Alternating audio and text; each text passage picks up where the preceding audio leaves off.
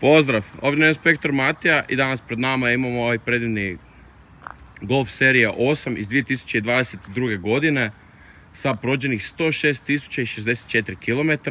Unutra nam se nalazi 2.0 dizelski motor sa snagom od 85 kW.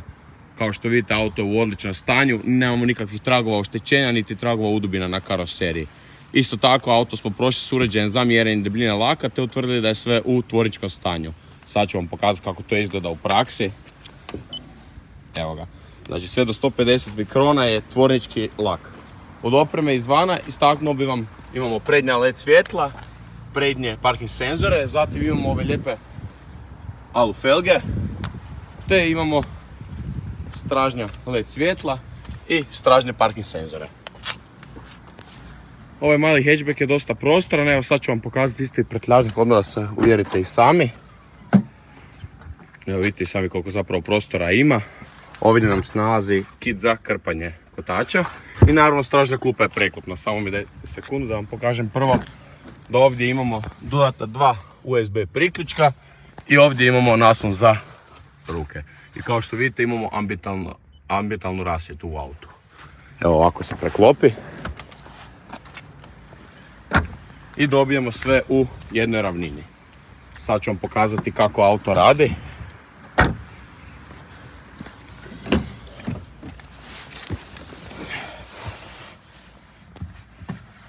Evo kao što vidite imamo digitalni instrument ploču i auto radi bez problema, nemamo nikakvih grešaka. Isto tako, to smo dokazali s uređajem za diagnostiku koji nam je pokazao da je diagnostika čista, znači nemamo nikakvih grešaka na auto.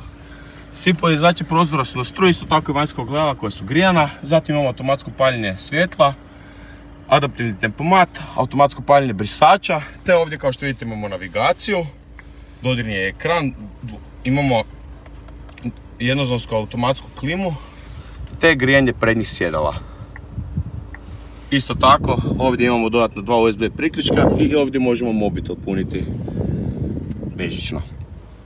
To bi ukratko bilo to. Auto će danas biti oglašeno na našoj Neostar platformi gdje možete vidjeti i dogovoriti za probnu vožnju koju odlazimo mi kao ne inspektori. Pa se tamo vidimo. Pozdrav!